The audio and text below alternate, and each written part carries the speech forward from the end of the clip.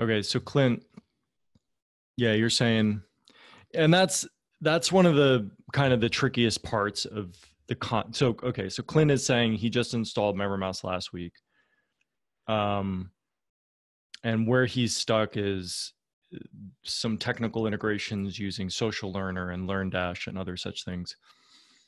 Um,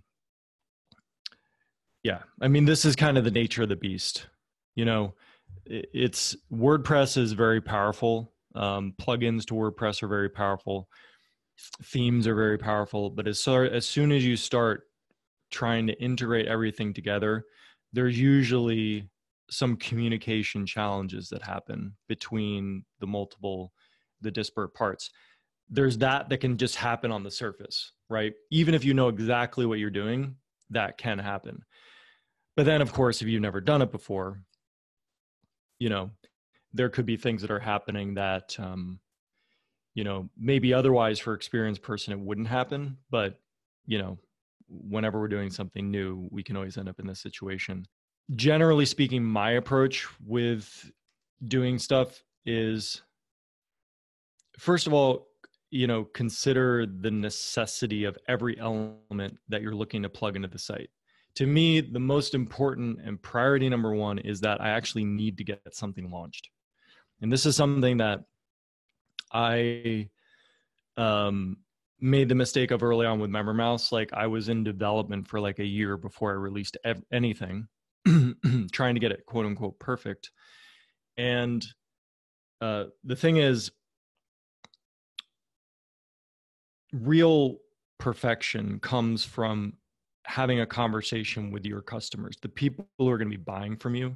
So the sooner that you can get it out and in front of somebody, the better chance you have of actually, um, you know, getting a ball rolling, becoming successful. So you, my suggestion, first of all, you know, kind of like bypassing the fact that there's technical issues, getting these multiple integrations. Um, my first suggestion is to make very sure that you absolutely need to launch with all of those features. And um, is there a minimum viable product that maybe not exactly you know what you want, but at least something that you can go live with? Because you're always going to be improving it. There's never going to be a point, especially if people actually engage with you and um, buy this from you, buy whatever you're offering.